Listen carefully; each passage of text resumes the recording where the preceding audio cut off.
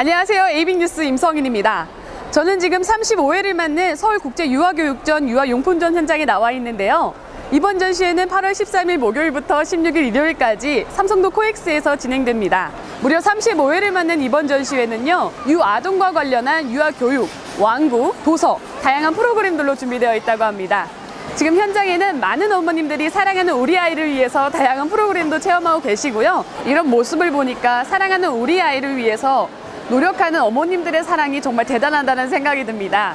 우리 아이 재밌고 즐겁게 공부할 수 있는 교육용품과 안전하게 놀 수 있는 다양한 완구가 가득한 2015 서울국제유아교육전 유아용품점 지금 저와 함께 하시죠.